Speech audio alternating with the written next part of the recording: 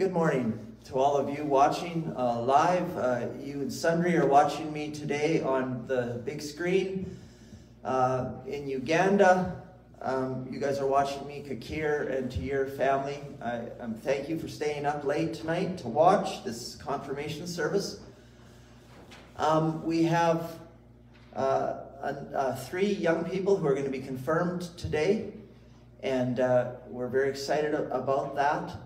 Um, and it's very exciting to come back here to Mistatim. Um, this church feels as much like home for me as any church that I know because it is the home of one of my best friends uh, who sat in these very pews many years ago. And uh, I should tell you all, I was at his son's ordination the other day. Terry's son, uh, Jay, was ordained and uh, um, at Ponoka. And he's got a very nice congregation and he's, he's very excited about his ministry. And so uh, we have uh, that event and uh, Ian was there and the rest of the family. We got to see everyone and um, I know they too think very, very fondly of, of Mistatim. Tyson must be, is he here? Tyson, if you'd come up, oh, he's back there. You, you got him, okay. Um, we're going to begin our service today. Uh, does everyone have a bulletin?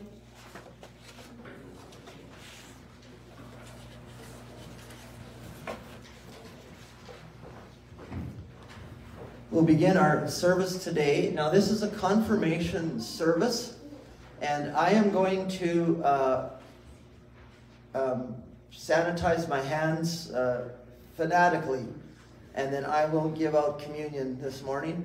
Um, but like I say, I will I, I, will drop the wafer in your hand so I don't touch you, and uh, and I will sanitize crazy before we have communion. So uh, just so you know that. The communion service is I'm using is out of the green hymnal, not the not the brown hymnal.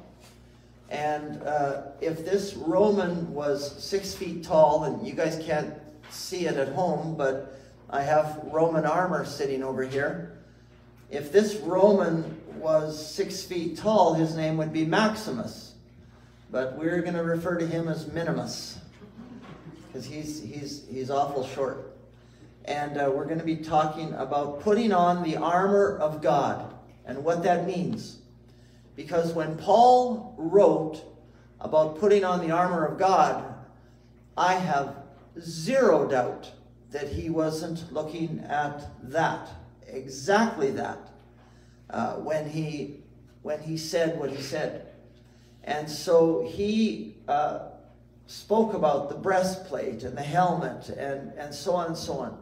And uh, I did not bring uh, a sword or spear into the church. Um, but uh, anyways, that's just, I guess, a, a choice. So with that in mind, we will begin our service. Uh, the congregation in Sundre also has this bulletin, so they will also be able to join join in. And so let us all. Uh, now, do you still do you stand, or does everybody just stay seated? Is it okay if you stand? Okay, then let's all please rise and uh, join together in the brief order for confession and forgiveness. Let us together. Gracious Creator, you have given us so much, but too often we take those gifts for granted or as something to which we are entitled. You call us to live in caring community, but too often we place our wants and needs first and those of others a distant second. You call us to share your gifts with the world around us, but we are worried that they may not be enough, and our worrying gets in the way of our sharing. For all the times when we mistreat and misuse your gifts, for all the times we assume that we get what we have by ourselves, forgive us and lead us back to the path of wisdom. Time of silent prayer and so we'll just take a few moments now and just bow our heads in, in, in prayer.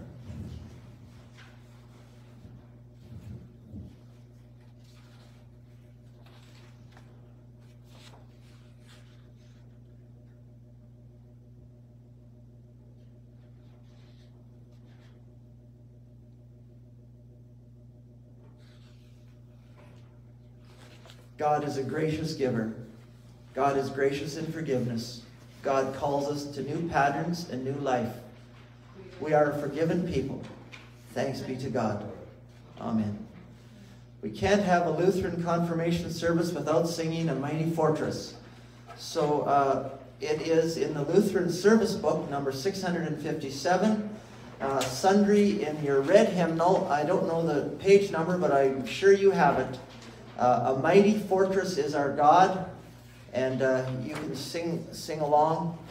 Uh, I guess you'll mostly just hear me. But let us let us sing.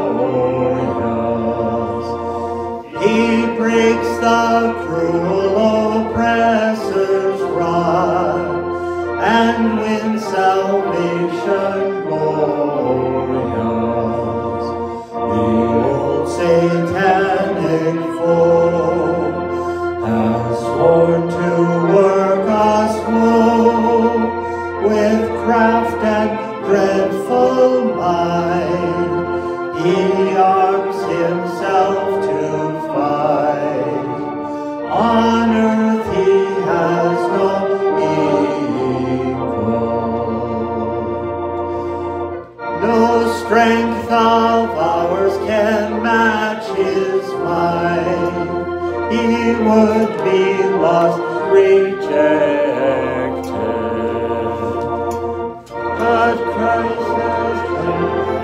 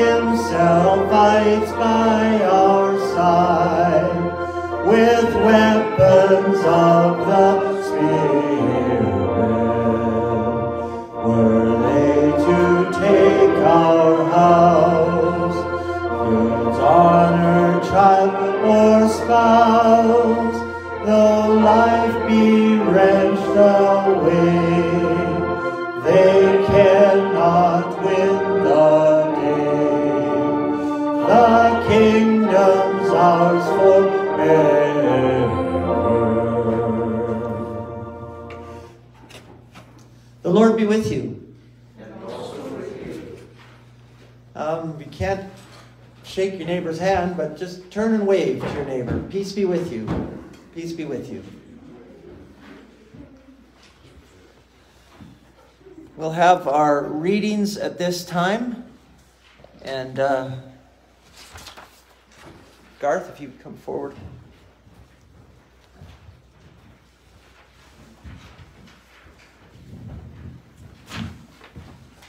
Stand right close to me so that they can hear you, please.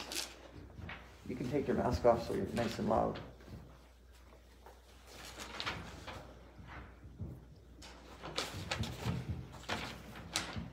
First lesson is from Lamentations chapter 3. The steadfast love of the Lord never ceases, his mercies never come to an end. They are new every morning. Great is your faithfulness. The Lord is my portion, says my soul. Therefore I will hope in him. The Lord is good to those who wait for him, to the soul who seeks him. It is good that one should wait quietly for the salvation of the Lord. It is good for a man that he bear the yoke in his youth. Let him sit alone in silence when it is laid on him. Let him put his mouth in the dust, there may yet be hope. Let him give his cheek to the one who strikes, and let him be filled with insults. For the Lord will not cast off forever. But though he cause grief, he will have compassion, according to the abundance of steadfast love. For he does not willingly afflict or grieve the children of men. This is the word of the Lord. Thanks be to God. This lesson is from 2 Corinthians chapter 8. We want you to know, brothers, about the grace of God that has been given among the churches of Macedonia. For in a severe test of affliction, their abundance of joy and their extreme poverty have overflowed in a wealth of generosity on their part. For they gave according to their means, as I can testify, and beyond their means of their own free will, begging us earnestly for the favor of taking part in the relief of the saints. And this, not as we expected, but they gave themselves first to the Lord, and then by the will of God to us. Accordingly, we urge Titus that as he had started, so he should complete among you this act of grace. But as you excel in everything, in faith, in speech, in knowledge, in all earnestness, and in all love for you, see that you excel in this act of grace also. I say not as a command, but to prove by the earnestness of others that your love also is genuine. For you know the grace of your Lord Jesus Christ, that though he was rich, yet for your sake he became poor, so that you, by his poverty, might become rich. I do not mean that others should be eased and you burdened, but that is a matter of fairness. Your abundance at the present time should supply their need, so that their abundance may supply your need, and there be, may be fairness. As it is written, Whoever gathered much had nothing left over, and whoever gathered little has no lack. This is the word of the Lord. Thank you. Thank you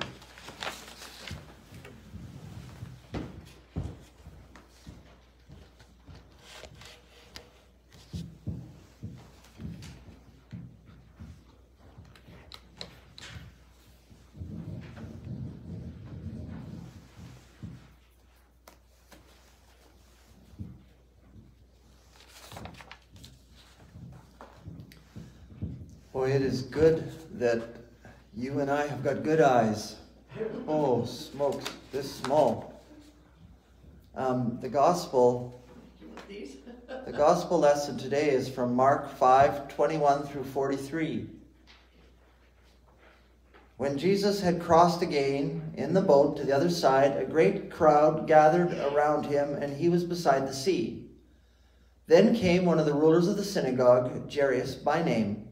And seeing him, he fell at his feet and implored him earnestly, saying, My little girl is at the point of death. Come and lay your hands on her, so that she may be made well and live. And he went with him. And a great crowd followed him and thronged about him. And there was a woman who had had a discharge of blood for 12 years. And she had suffered so much under many physicians and had spent all that she had and was still no better but grew worse. She had heard stories about Jesus and came up behind him in the crowd and touched his garment because she believed that if she just touched even his garment, she would be made well. And immediately the flow of blood dried up, and she felt her body, and she was healed of her disease. And Jesus perceived in himself that power had been gone out from him. And immediately he turned about in the crowd and said, Who touched my garments? And his disciples said to him, Are you kidding me? You see the crowd all around, pressing around you, and yet you say, Who touched me? How would we know? But the woman, knowing what had happened to her, came in fear and trembling and fell down before him and told him the whole truth. And I'm guessing that that truth involved statements like, I believe, I have faith, I knew that. I believe that if I touched you, I would be made well. Because again and again and again, it was faith that made people well. And he said to her, Daughter, your faith has made you well. Go in peace and be healed of your disease. And while he was still speaking, there came from the ruler's house some who said, Your daughter is dead.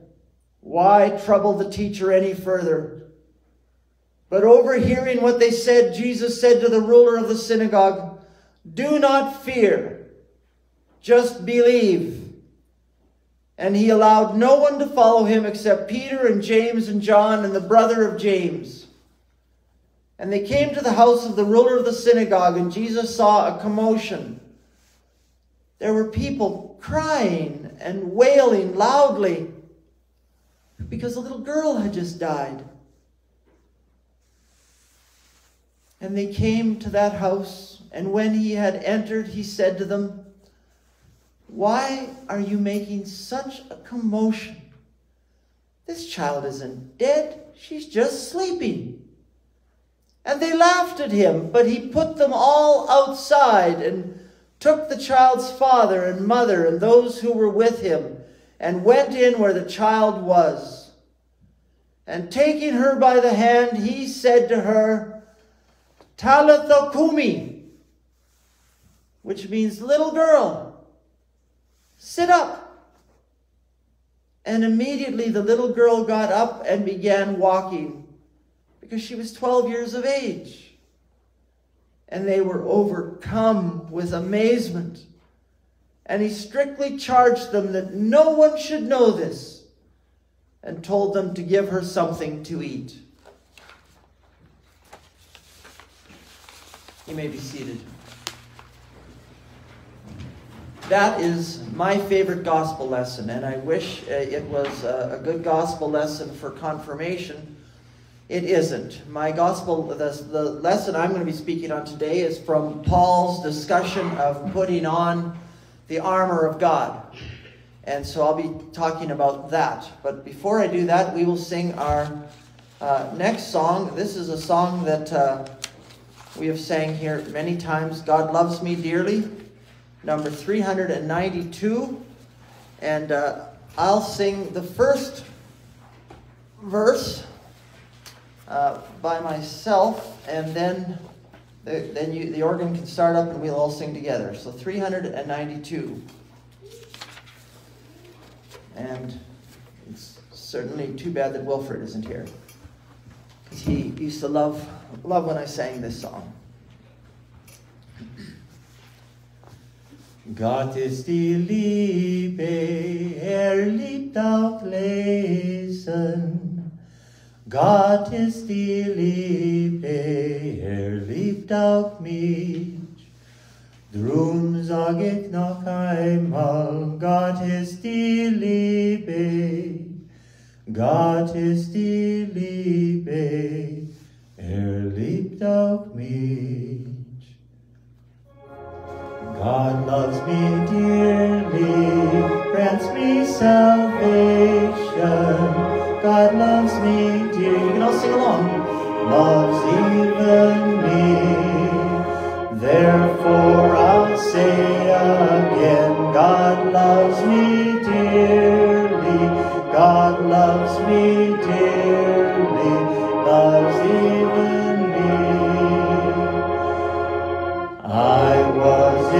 slavery, sin,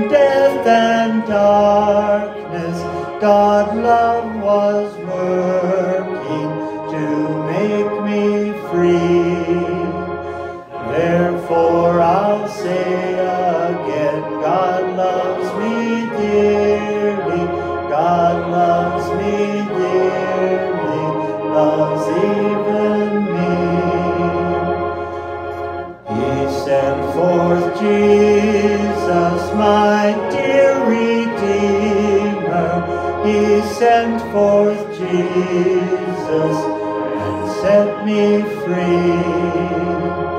Therefore I'll say again, God loves me dearly, God loves me dearly, loves even me. Last verse, verse 5.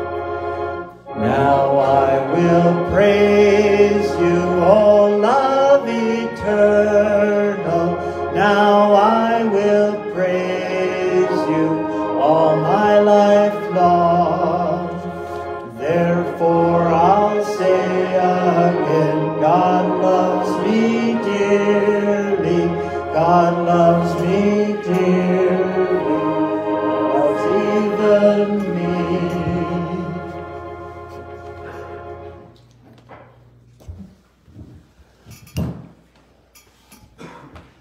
I uh, used to own two uh, types of Roman armor.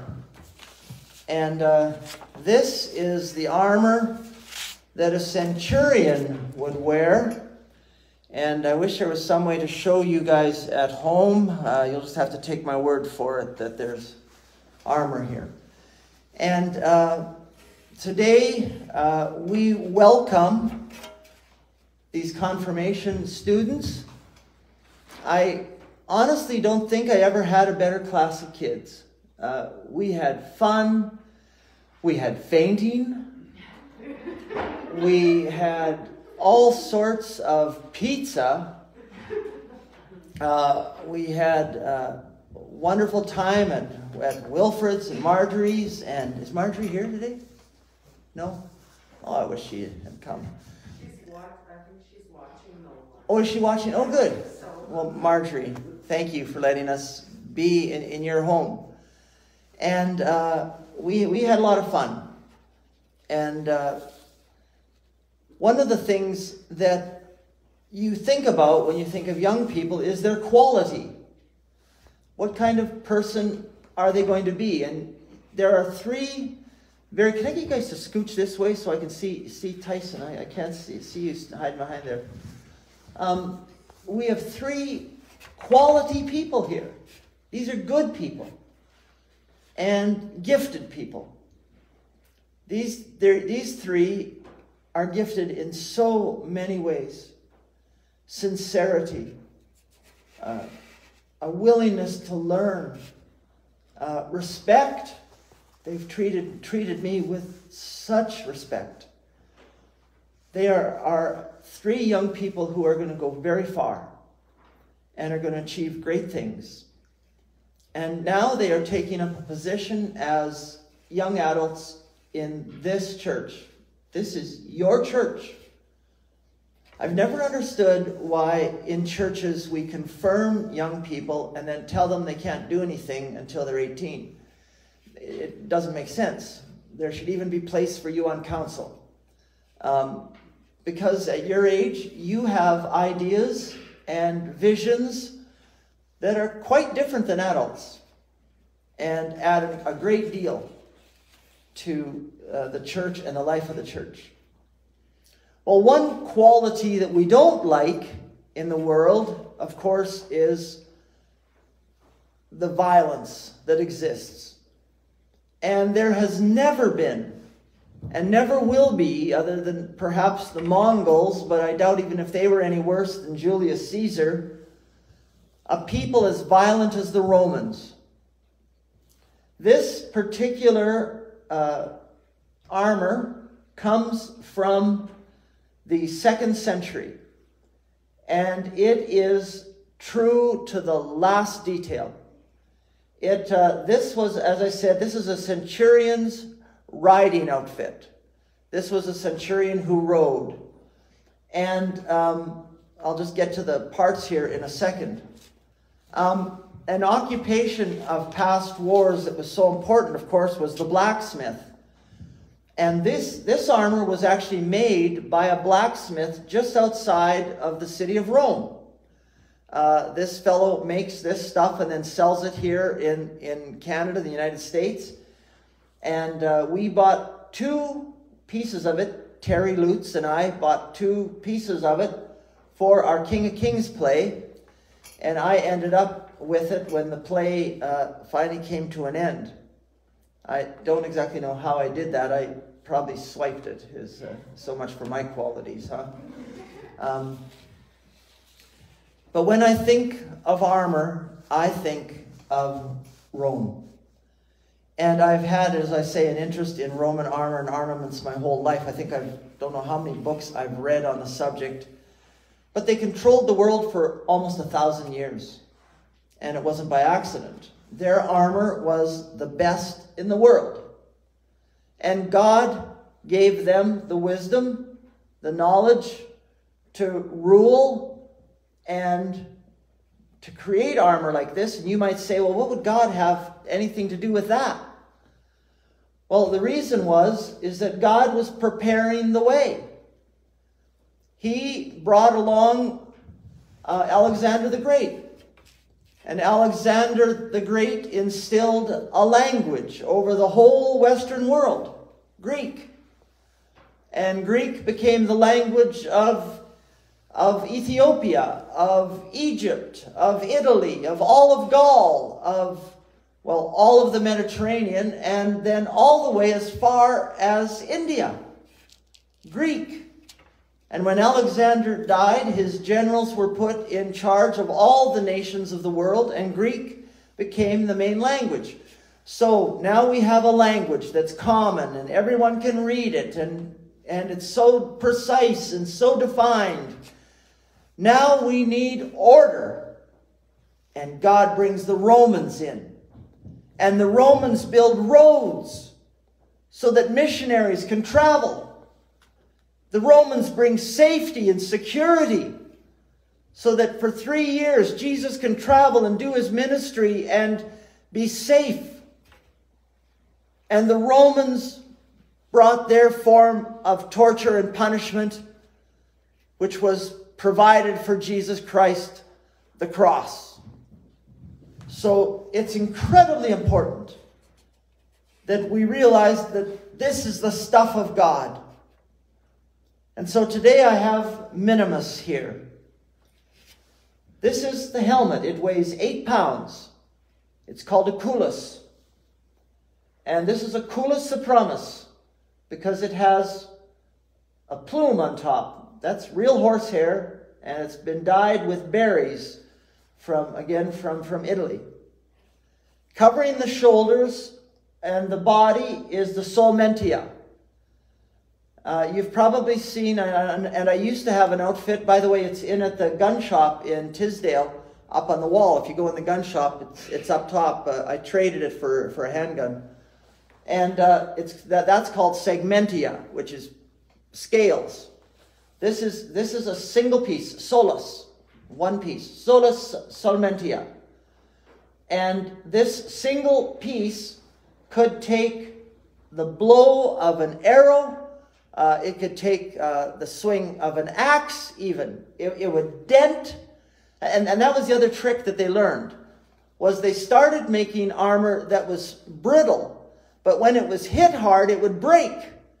So they developed armor that gave a little. So when you hit it, it dented instead of allowing the, the object to go straight through it. Under the armor was this very, very this very, very heavy wool outfit. And it's very short, but the men in those days were also very short. Uh, five foot five was considered a pretty good sized man. And um, so under was this. Uh, under some officers, they would wear silk because the silk would allow, if the arrow went into your body the silk would go with it, and they could pull the silk out and pull the arrow out along with the silk. Um, covering their lower arms are, were a thing called arm greaves, and they, there wasn't much to them. Uh, some of them, this this one here, this is a wrist greave. These went on their wrists, and these were heavy, heavy leather to block. There we are to block a knife blade. And then these were the leg greaves, and they uh, went on the calves, and then they had similar ones that went on the forearms. And they were exactly like this. They would put these little metal pieces here because they wanted to catch the sword. When the sword came in, they didn't want it glancing off, off, off of this onto the body. So these little metal pieces were meant to catch the blade when it hit. And the last part, uh, this part at the bottom with all the leather strips, that is called the scrotarum. And uh, you can guess what that was supposed to protect. um, and it uh, had a whole bunch of leather straps, and again, a bunch of metal pieces sewn onto it to capture the blade. Because when, when a blade was swung and, oh, now the guy's got it stuck in your leather, well, now you, you got a free hand to come around and, and end the fight. Everyone who ever wore such a suit of armor put on all the pieces. The shield, I actually built one once. Uh, I, I, built it to the specs of, of Rome. I, I, it had a curved edge so that they would hook, one shield would hook into another and create a wall. And they would, I mean, they'd hook really well into each other, and you could not pull them apart. And uh, it was made out of lathing, leather, and then more lathing, and they weighed 18 pounds. And uh, the one I made uh, was also equipped with uh, Valerie's salad plate and her salad bowl, stainless steel, turned inside out. Um, then they also had a, a sword that they fought with, and it was a stabbing, stabbing sword, and they had a pilum, which was a long spear. And that was also genius. The metal on the pilum was soft. So when you would throw it and it would hit the opposition shield, it would bend. So nobody could pull it out, throw it back at you. As a matter of fact, most of the times you couldn't pull it out. So now you have this bent thing hanging on your shield and it would slow you down. Just ingenious stuff. So smart. But as I say, no one would go into battle without three pilums without your gladius, your sword, without a gladius spatarum, which is the, the, the small stabbing dagger, and all of these, these things. When all was said and done, you had 46 pounds of leather and steel, and another about 16 pounds of sword and pilum. And so these guys were tough. Likewise, with the Apostle Paul, who, as I say, I had no doubt that he was looking at a soldier that looked exactly like this when he wrote what he wrote. Paul is advising us to put on the whole of the armor of God, not just bits and pieces of it. We are to protect ourselves from the cunning onslaught of the power of evil, that is keenly aware of where we are vulnerable. And the power of evil, one always attacks us where we don't have protection. Satan will go after you where you are the weakest. Had a young man a few days ago inform us that he was in fact gay.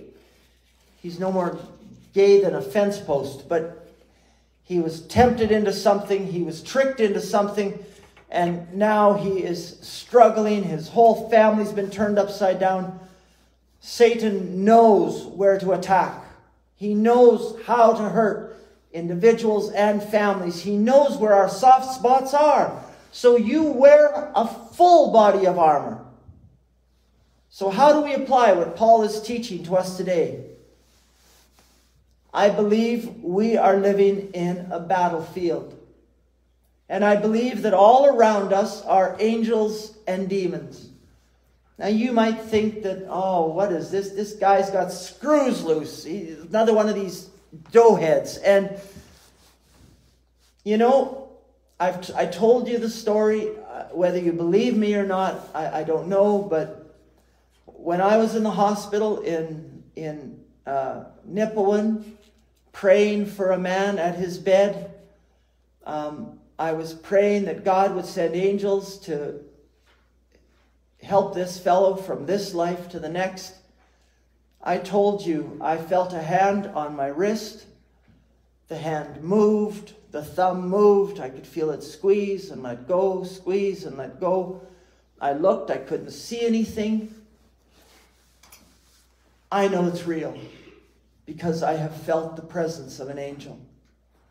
And if there are angels, then there are also demons around us trying with all their might to lead us astray. And we're not fighting simply with our own egos, with our own selfishness. We're not fighting simply with our own flesh, with our own little addictions and our own passions. We're not merely fighting petty battles with booze or drugs or sex or, or material pleasures. The Bible says that we are fighting with an evil force greater than ourselves. And that that force is only turned aside by the power of Christ Jesus, who causes all the wars around us, who causes all the pain and the suffering what always bothers me, and it bothers me to no end, is when someone says, Why did God do that? Why did God let a little child die of cancer? Why did God, you know, God didn't. That's not the stuff of our God. That's the stuff of evil that we have taken part of, and because of that, we're all broken. And life is temporal. Temporal accidents happen. People die, brought on by our own sinfulness and the world's humanity. We're human. And so we sin and we fail and we break. I buried my granddaughter a week ago, week and a half ago. And of course, someone asked, How could God have done this? God didn't. It was an accident. Somehow, inside the womb, she moved in such a way that a knot was formed in the umbilical cord and she died.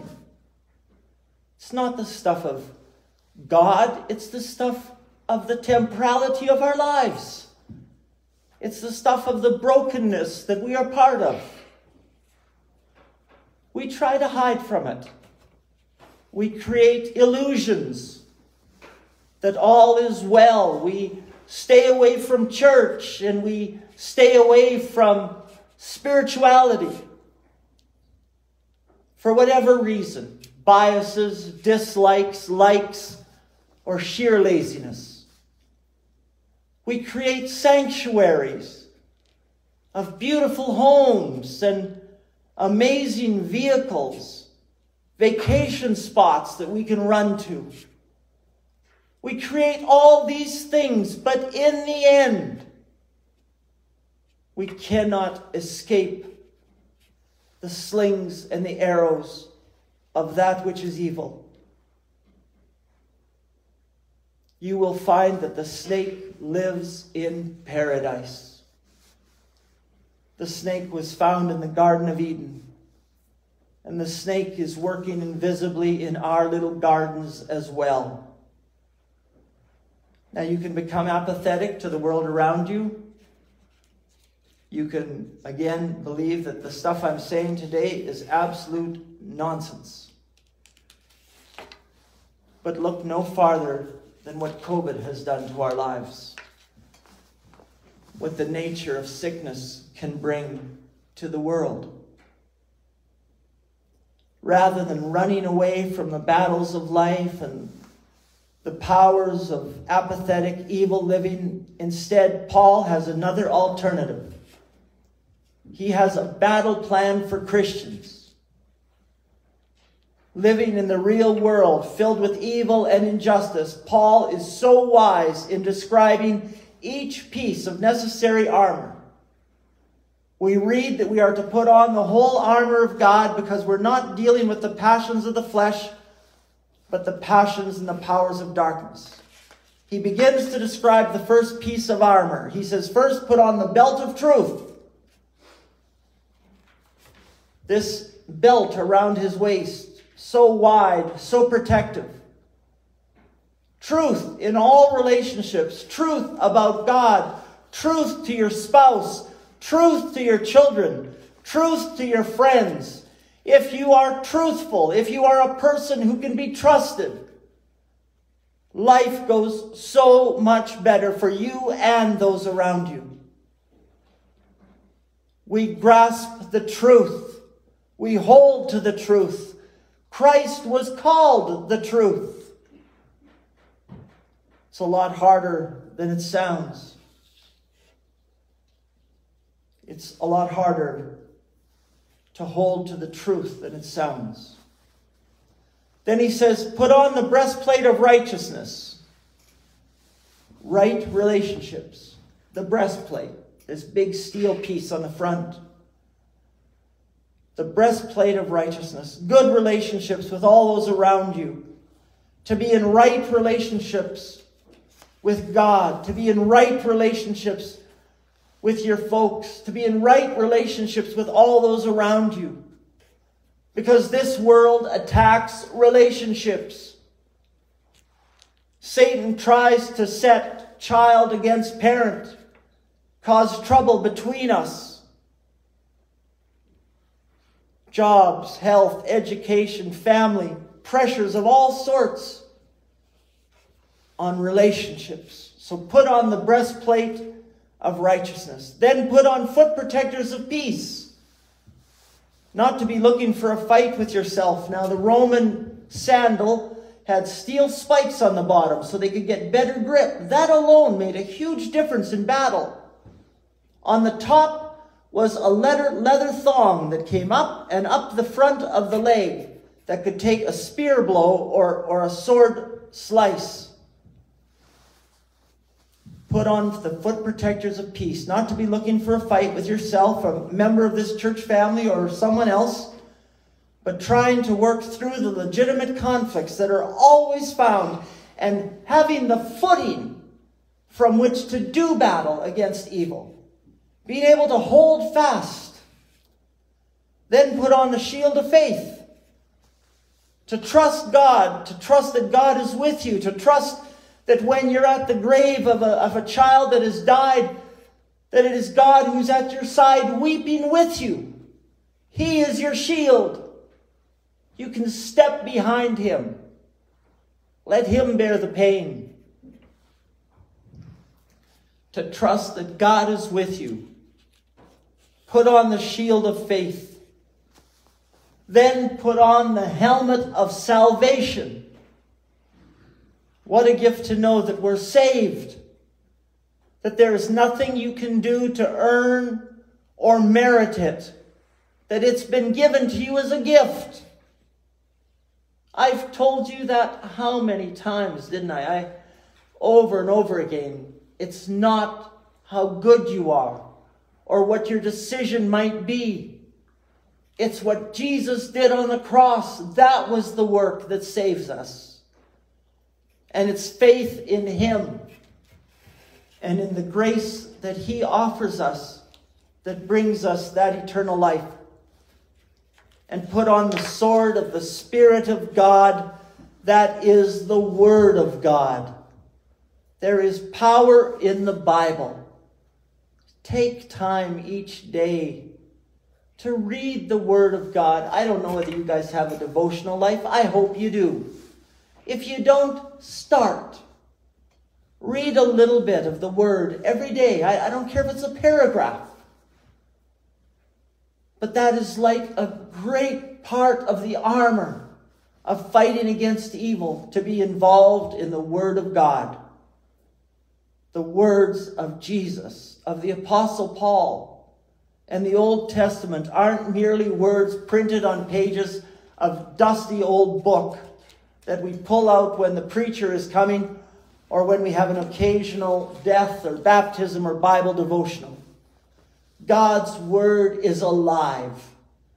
And all that I taught you is alive within you, and I hope will equip you for life. God's word. I, I remember a professor years ago telling us that, that when you speak the words of the Bible, the words don't flow out and then fall to the ground. When they're spoken, they are alive. They go into the bodies and the minds of people around and they influence. We learn them, we memorize them, we recite them. And finally, put on praying in the Spirit. Take time to pray. Take time to speak to your Heavenly Father. Now, you're not parents yet, but when you are, and I can ask you guys, is there anything in your world greater than when your child comes and wants to visit with you? There's nothing. That's the best. That's as good as it gets. When I get a text message from my son or my daughter, it gets answered immediately.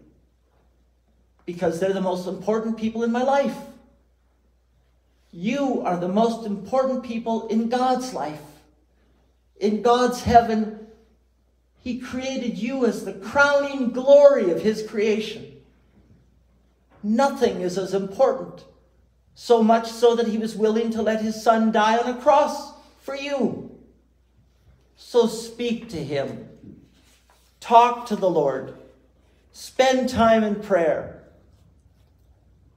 And so the Apostle Paul clearly and wisely says to you, confirmants, this morning put on the whole armor of God so that you may be able to stand tall in the day of Jesus Christ.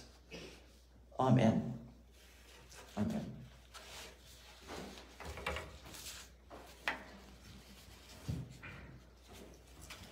Well, to you folks at home, I'm going to say, uh, I'm going to turn off at this point. Uh, the confirmation service is uh, one that I'll be moving around up here, and you can't follow along with it. So I'll say so long and, and God bless you and love you all. And we'll see you uh, next Sunday and Sundre. And thank you for watching today. Take care. Bye bye.